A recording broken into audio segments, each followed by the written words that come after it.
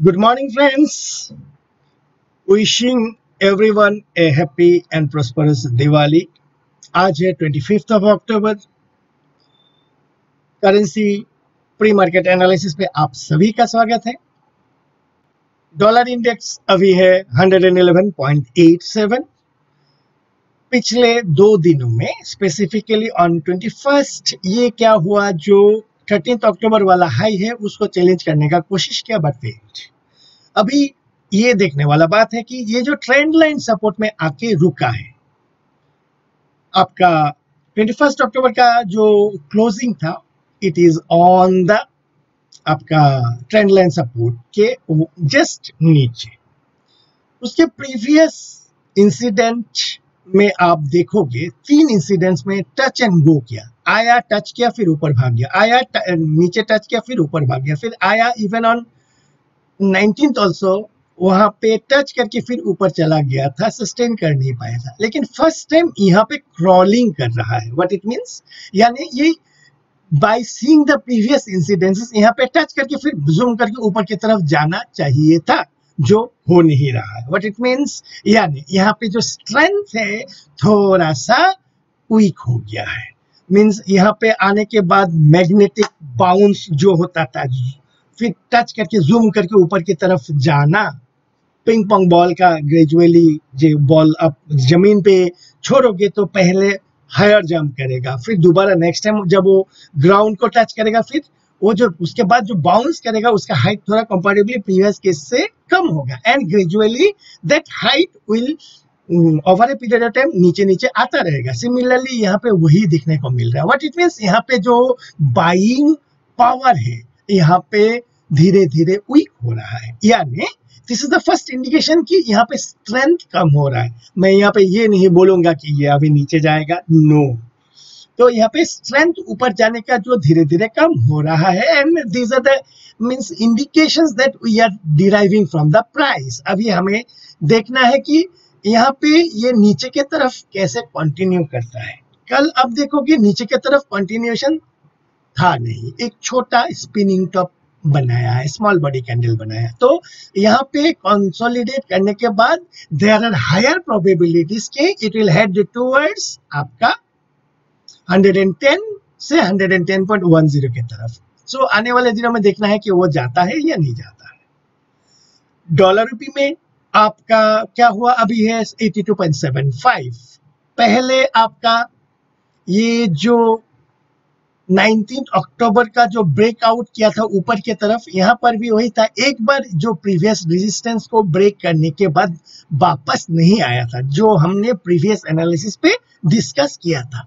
लेकिन यहाँ पे जब ये 19 अक्टूबर को ऊपर की तरफ़ ब्रेकआउट किया फ़र्स्ट टाइम ये वापस चला आया है। यानी कि यहाँ पे थोड़ा सा जो मार्केट सेंटिमेंट है अंडरलाइन जो स्ट्रेंथ है, वहाँ पे थोड़ा सा चेंज आया है। तो इसीलिए आप देखोगे ब्रेक करने के बाद 20 तारीख को वापस नीचे आ गया एंड 21 को फिर फर्दर डाउन आया। कल मार्केट ज़्यादा कुछ एक्टिविटी था नहीं। अभी देखना है कि क्या ये 21 अक्टूबर के नीचे कंटिन्यू करता है या नहीं। ये हमें आज या आपका 27 तारीख ऑनवर्ड्स हमें देखना पड़ेगा। बिकॉज़ टुमारो भी भाई दूज के लिए मुंबई हॉलीडे है तो इंडियन मार्केट में ज़्यादा कुछ एक्टिविटी होगा नहीं। आइए देखते हैं जीबीपी डॉलर जीबीपी डॉलर में हमने यहाँ पे जो हायर लो बनाने के बाद हमारा जो टारगेट था, ये हायर हाई को ब्रेक करना, जो काफ़ी टाइमों से कर नहीं पा रहा था। तो यहाँ पे ये जब तक आइदर ये हाई को तोड़ के ऊपर की तरफ़ हायर हाई नहीं बनाता है, या लो को तोड़ के ये जो हायर लो है उसको डैमेज नहीं करता है, तब तक यहाँ पे ये चॉपीनेस बरकरार रहेगा। और वही हम देख रहे हैं कि काफ़ी चौपीनेस है। हाँ कल का एक स्पेशल डेवलपमेंट है कि नया जो यूके पीएम है who is of Indian origin mister Rishi Sunak has taken charge that being the case अभी यहाँ पे what sort of policy measures he is going to take from the government perspective and also BOJ what sort of initiatives they are taking we need to watch both the two things very carefully अभी technically हमें क्या देखना है क्या ये जो swing high को तोड़ के ऊपर की तरफ़ क्लोज देता है या नहीं ये आने वाले दिनों में अगर दे देता है देन ये जो सेल ऑफ़ है वो हॉल्ट हो जाएगा and we may expect some sort of retracement in the higher side GBP INR में भी सिमिलरली आप देखोगे, ये जो हाई है, उसके ऊपर तो गया है, लेकिन क्लोज अभी तक कन्विंसिंगली दे नहीं पाया है। हमें अभी इंतज़ार है हायर क्लोज के लिए। तो क्या होगा? हायर लो हो गया, फिर हायर हाई भी हो जाएगा ऑन क्लोजिंग बेसिस पे। तो एक अप ट्रेंड का शुरुआत हम एक्सपेक्ट कर सकते एज ऑफ़ नाउ ये रेजिस्टेंस यहाँ पे ले रहा है। इसको ऊपर जाना है तो इसके उ, ये जो जोन है रेजिस्टेंस जोन है आपका 93 93 20 से 93 70 के बीच में उसको ऊपर क्लोज देना पड़ेगा। यूरो डॉलर में हम देखते हैं यूरो डॉलर में यहाँ पे कंसोलिडेशन वही है कि ये जो सिंघाई है, इसको तोड़ने के लिए हमें इंतज़ार करना पड़ेगा सेम सॉर्ट ऑफ़ एनालिसिस तो यहाँ पे चॉपीनेस बरकरार रहेगा, जब तक आइजर हाई नहीं तोड़ता है या लो नहीं तोड़ता है। लेकिन यहाँ पे देखने वाला बात है, ये जो रेंज है आपका पॉइंट से वन इसके बीच में एक बड़ा सा रेजिस्टेंस जोन है। इसको तोड़ना पड़ेगा, अगर इसको ऊपर जाना है तो। यूरो आइनर पे हम क्या देखते हैं? यूरो आइनर पे ये जो हायर हाई वाला ट्रेंड को तोड़ दिया है कन्विंसिंगली जो यूरो जीबीपी आईएनआर में तोड़ नहीं पाया जीबीपी डॉलर में भी तोड़ नहीं पाया यूरो डॉलर में भी तोड़ नहीं पाया, लेकिन यहाँ पे आप देखोगे, ये हायर लो बनाने के बाद ये हाई को तोड़ के फ्रेश हाई बनाया है। यानी यहाँ पे एक जर्नी हो चुका है, हायर हाई, हायर लो। अभी जब next on a bigger mean daily time frame पे दोबारा ये बॉलिंजर बैंड के सेंटर बैंड के तरफ़ आके सपोर्ट लेगा that will be the best buying opportunity with a very small stop loss dollar yen में ये 151.94 ट्रेड करने के बाद on twenty first of October हमने देखा है कि यहाँ पे बीओजे का इंटरवेंशन था।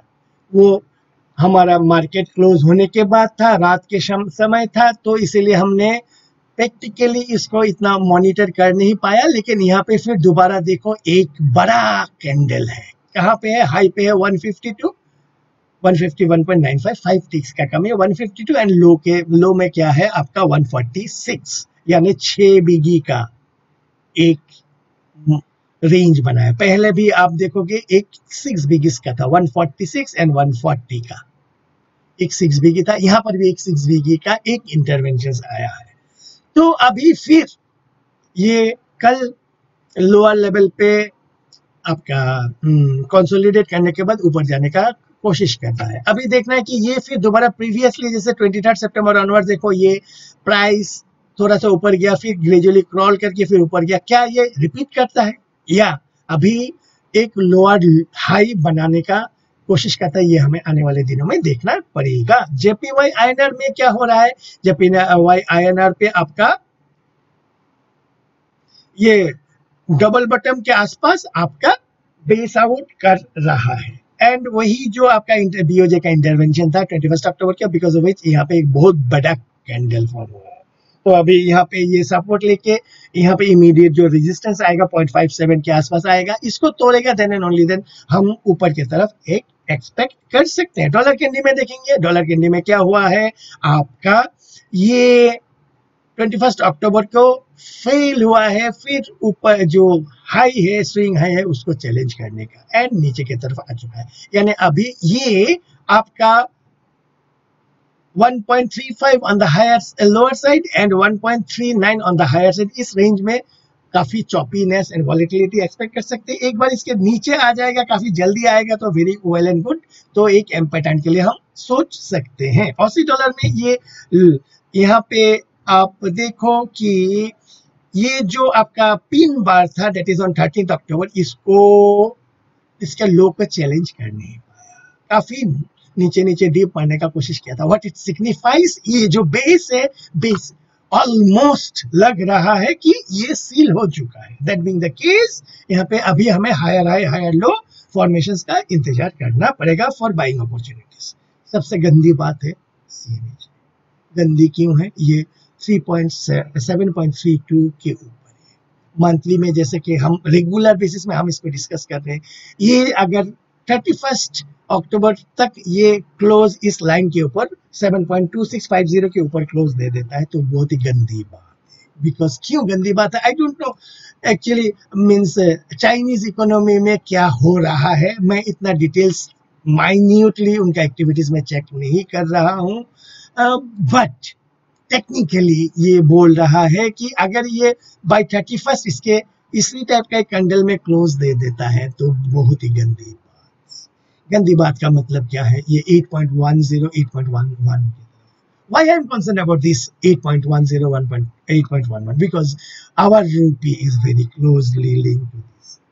तो हमारे रुपये में भी काफ़ी प्रेशर आ सकता है। तो we need to be very careful about that UK oil में हम देखेंगे, ये आपका कल एक प्राइस रिजेक्शन हुआ है अपर एंड पे high 94.21 low 89.01 that mean the case अभी यहाँ पे ये जो लो है, जो 88.81 का लो बनाया था ऑन 18th अक्टूबर उसको लो के नीचे सस्टेन कर नहीं पा रहा एक बार इसके लो के नीचे सस्टेन करेगा then we may expect some downward movement towards 83 84 ten year US treasury में क्या है? 4.21 करेंटली है। ये यहाँ पे फिर यहाँ पे थोड़ा सा हॉल्ट कर रहा है because next market is waiting for F so यहाँ पे एक जो हमारा टेंटेटिव टारगेट है, वो है आपका 4.48 से 4.50 की तरफ़। तो over a period of time ये उधर जाता है क्या नहीं, हमें देखना पड़ेगा in it may be bought in this instrument those guys who are playing here till ये ट्रेंड लाइन तोड़ के नीचे क्लोज नहीं दे देता है उसके नीचे फ्लो फॉलो थ्रू नहीं दिखता है। तब तक यहाँ पे